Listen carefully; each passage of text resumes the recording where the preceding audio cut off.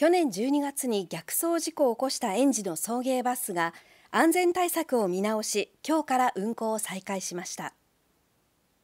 事故を起こした認定こども園のバスです。今日から2ヶ月ぶりに運行を再開します。バスは去年12月道路を逆走し12人が怪我をしました。園は安全対策をしたバスを昨日公開しました。すべての席に取り外ししやすいシートベルトをつけたほかドライバーを監視するカメラも取り付けました。カメラには AI が搭載され居眠りやハンドルにもたれかかるなど異変を感知すると警報音が鳴る仕組みになっています。車体をしっかり整えて何かあってもあの子どもたちを守る。